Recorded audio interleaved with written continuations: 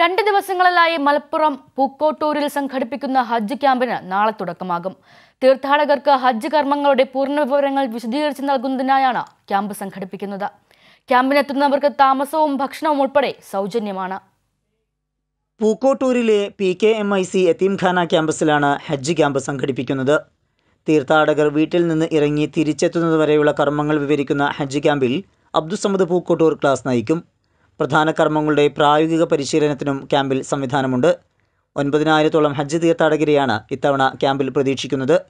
ക്ലാസ്സിൽ പങ്കെടുക്കാനെത്തുന്നവർക്ക് ഭക്ഷണത്തിനും താമസത്തിനും ഉൾപ്പെടെയുള്ള സൗകര്യങ്ങൾ സജ്ജമാണെന്ന് സംഘാടകർ അറിയിച്ചു. ഹാജിമാർ മക്കയിൽ ചെന്നാൽ അവർക്ക് വേണ്ട എല്ലാ സൗകര്യങ്ങളും ചെയ്തു കൊടുക്കാൻ ആവശ്യമായ ക്രമീകരണങ്ങൾ അവർ നടത്തിയിട്ടുണ്ട്. അതിന്റെ നേതാക്കൾ ഇവിടെയുണ്ട്. നിങ്ങൾക്ക് പരിചയപ്പെടാം. അതോടൊപ്പം തന്നെ ഈ കാലം അത്രയുമുള്ള ഹജ്ജ് വേളയിൽ അവിടെ എത്തുന്ന ഹാജിമാർക്ക് ആവശ്യമായ സൗകര്യങ്ങളൊക്കെ ചെയ്തിട്ടുള്ളത് കെ എം സി സിയും അതുപോലെ തന്നെ അതിന്റെ പ്രവർത്തകരുമാണ്. പതിനെട്ടിന് രാവിലെ ഒൻപത് മുപ്പതിന് സംസ്ഥാന പ്രസിഡന്റ് ജിഫ്രി മുത്തുക്കോയ തങ്ങളാണ് ക്യാമ്പ് ഉദ്ഘാടനം ചെയ്യുക. സാദിഖ് അലി ശിഹാബ് തങ്ങൾ അധ്യക്ഷനായിരിക്കും. പ്രൊഫസർ കെ ആലിക്കുട്ടി മുസ്ലിയാർ ഉൾപ്പെടെയുള്ള പ്രമുഖർ ചടങ്ങിൽ പങ്കെടുക്കും. കൈരളി ന്യൂസ് മലപ്പുറം.